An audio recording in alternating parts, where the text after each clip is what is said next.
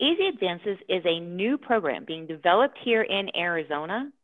that will be philanthropically supported and will help move life saving and life changing innovations that are being discovered here in Arizona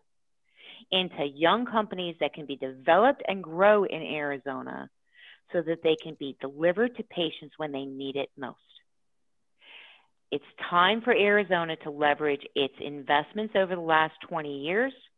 and turn it into products and services that make life better for all of us.